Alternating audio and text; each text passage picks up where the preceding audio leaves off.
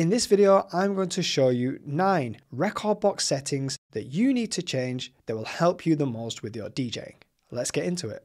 Alright, so what I'm going to do here is go to the top right hand corner of rekordbox and open up the settings and it's just this cog wheel just here at the top right. This will open up your rekordbox settings, also known as preferences. Now what I'm going to do right now is reset all of my rekordbox settings back to default. So I'm going to start right at the start here in view Go down to reset to default and just click reset. Let's try the layout, reset to default. Color, I'm gonna go through all these. And already you can see my rekordbox is reverting back to its default settings right now. I'm gonna go through all the settings, do exactly the same, and then I'll get back to you. All right, so there we have it. I've gone through each individual setting on the left here and reset them all back to the default settings. Now the reason why I've done that is so now I do actually have to go through and change the settings back that are most important to me and that I actually need to use whilst I am DJing. Now if you're wondering why should you listen to me and follow my settings or at least take them into consideration, I have been DJing now for over 15 years in venues all around the world, including places such as clubs, bars, boat parties, pool parties and festivals. I have also been creating online courses for the last 7 years and in that time, I have taught over 20,000 people how to DJ. And right now, I'm going to show you the nine most important settings that you need to change in your rekordbox. Now, the first thing that I recommend changing is the setting called tooltips. So if you go to the one of the first options here, which says view, and then go to display type, the second option down here is tooltips. Now, as standard, rekordbox turns this on. What Tooltips does is it basically allows you to see what a function does just by holding the mouse cursor over the top. So if I hold my mouse cursor here over the play and pause button, it will basically come up in a box next to it explaining what that function does.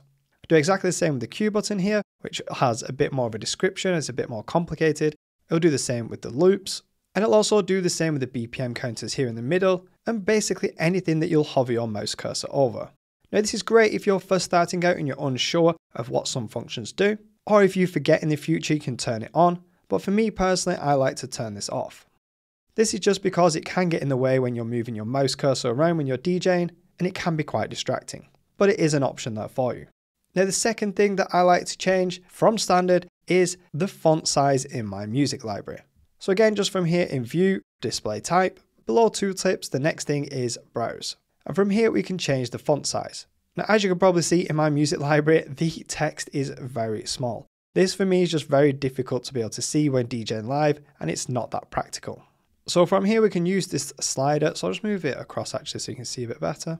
I'm just going to use this slider on the font size just to make it a little bit bigger and it's up to your preferences to what size you want your track titles to be.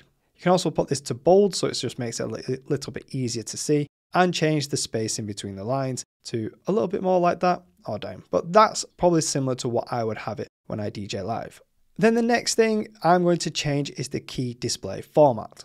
So I'm going to scroll down here till I get to key display format. So it's in the same place as view, display type, and there is a few options here that we need to change. And as standard, this will be set to classic. I would recommend changing this to alphanumeric. And basically what that means is when you analyze your tracks for the key, it will give it a number and a letter combo. So just like on the right hand side here, you can see the keys of my track and the top one there is 12A. The next one below is 4B. The next one below that is 2A. And this system is a lot easier to use when you are trying to mix in key. I do have a full video explaining how you can mix in key using rekordbox that you can check out after this video. The next setting I would recommend changing is in view but then layout. So this is in the layout of your rekordbox, and it's this first option here, which is media browser.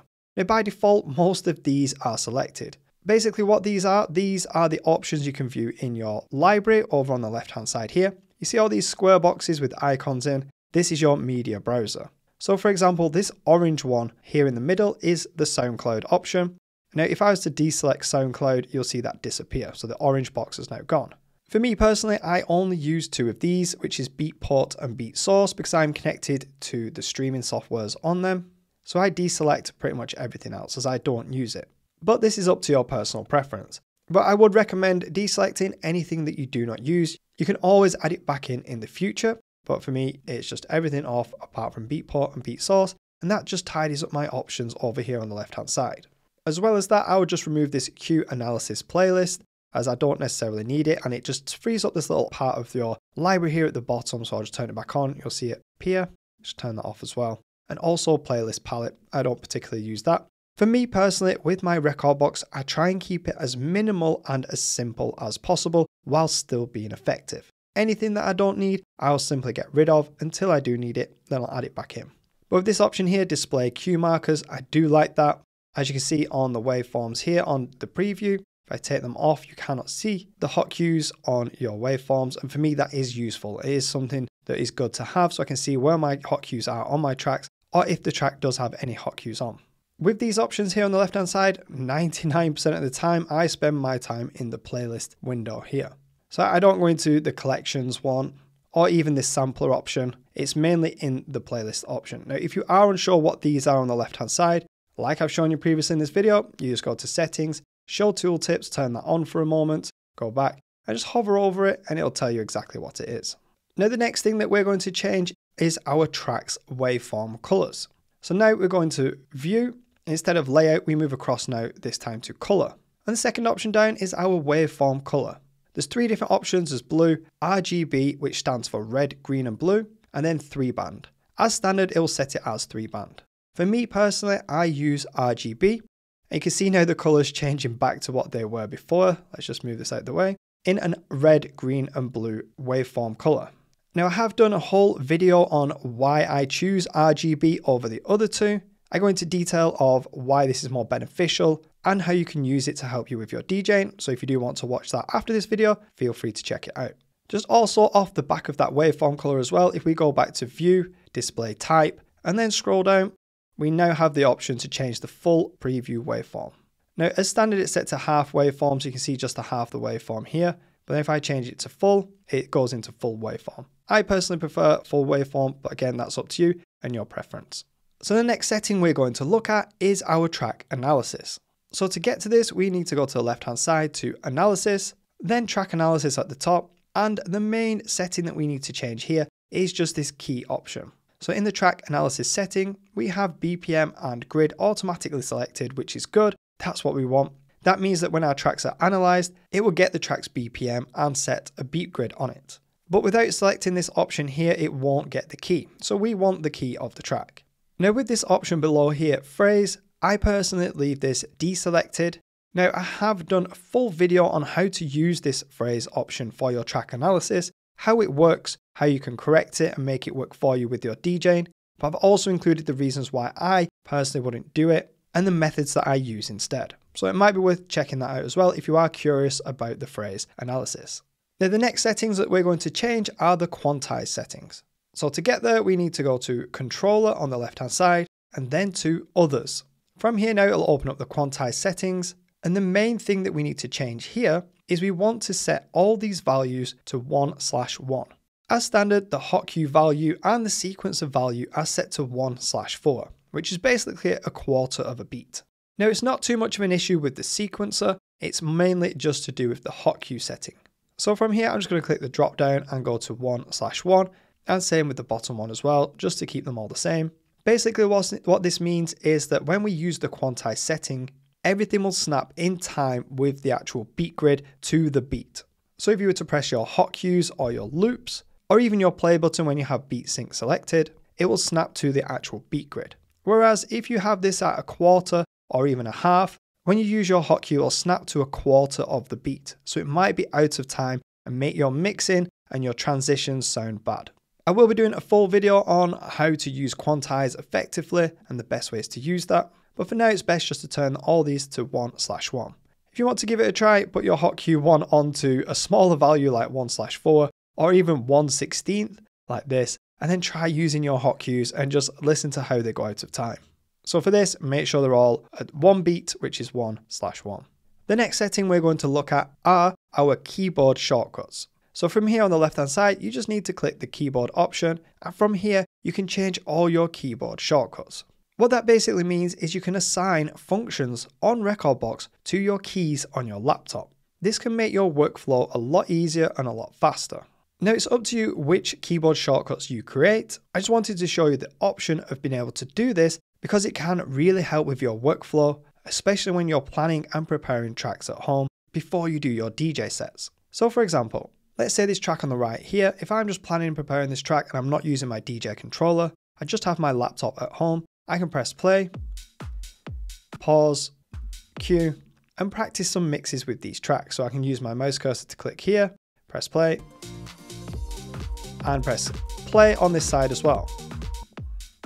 Now that is very fiddly to do just clicking your mouse cursor. So what we can do is create keyboard shortcuts to help us with this.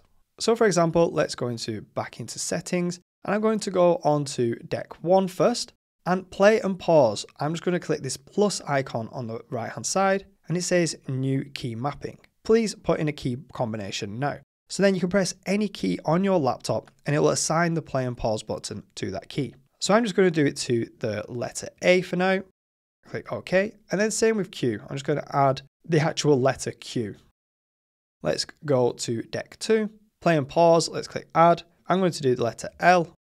And then for Q, this time I'm going to do the letter O. There's reasons why I'm doing them letters, right? But I'm not going to go into them right now.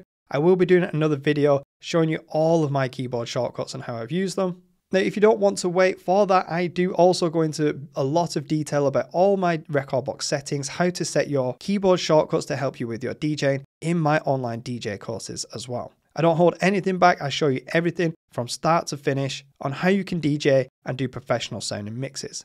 So if you are interested in that, check out the link below this video.